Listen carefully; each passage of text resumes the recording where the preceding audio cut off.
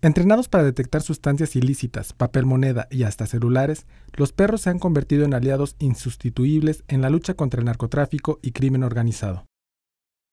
Los perros entrenados en las tareas de seguridad, mejor conocidos como K9, forman con agentes antinarcóticos de la Policía Nacional Civil de Guatemala los efectivos binomios caninos, que asestan duros golpes al crimen organizado.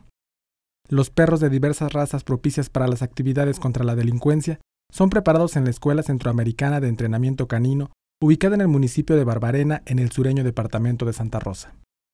La instalación, fundada en junio de 1998 con apoyo técnico de las Fuerzas de Seguridad de Bolivia, es única en su tipo en la región centroamericana. En el lugar se entrenan a los canes de la Policía Antinarcóticos de Guatemala, así como de otros países como México, Honduras, Nicaragua, Costa Rica y de países sudamericanos. Pero también se adiestra a agentes que se desempeñarán como guía de los perros especializados.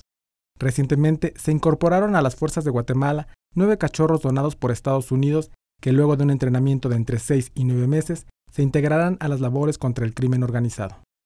Con información de Pablo Palomo, corresponsal en Guatemala, Notimex.